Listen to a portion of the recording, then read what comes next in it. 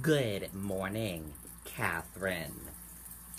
A wrongful death lawsuit filed against the estate of former NFL star Aaron Hernandez is headed back to court.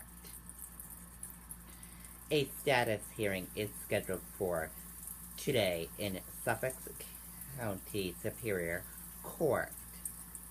Hernandez was accused of gunning down Danielle de Abreu and Safiro Furtado in 2012. The former New England Patriots tight end was acquitted of the killings in April. Days later, he hung himself in his prison cell. He was serving a life sentence in the 2013 killings of semi-professional football player Odin Lloyd.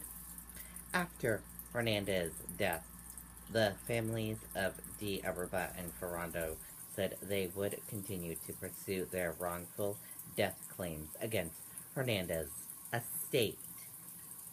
Lloyd's mother said has said she will continue to pursue a separate wrongful death lawsuit against Hernandez estate.